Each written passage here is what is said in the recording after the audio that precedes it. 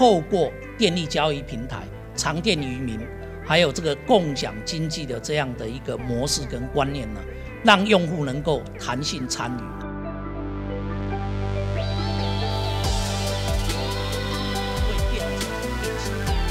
它变成电气化以后，就会让电器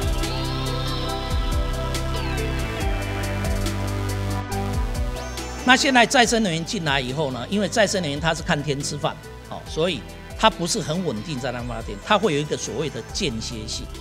那另外一个挑战呢，就是这一个所谓的鸭子曲线。我们知道太阳能它的轨迹就是固定的，太阳开始西下的时候呢，太阳光电的发电量就会减少。鸭子曲线在黄昏的时候，我们要面对的这一个是太阳光电减少的幅度会。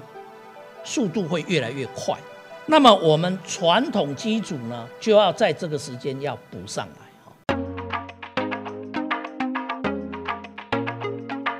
过去的传统电网已经没有办法去接受这样分散式的一个再生能源进来，所以我们就必须要升级我们的电网到智慧电网的一个层级。那智慧电网的层级就会让我们的用户呢，从过去单纯的电力的使用者，它也可能会成为呢电力的供应者。用户的用电呢，不再是过去的单向，而是现在是双向。用户配合系统的需要来调整它的用电的这个行为，其实对我们系统而言，它就是一个虚拟电厂。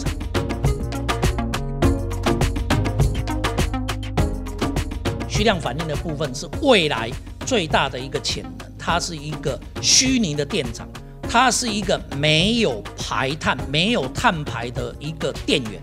那目前在这一个交易平台呢，哈，已经有十七个厂商参与。那参与的容量陆陆续续，我们验证通过以后，参与容量大概会达到呢，哈，大概九十四点七哈。那如果再把这个后续再申请加进去，今年年底有机会突破一百个 megawatt。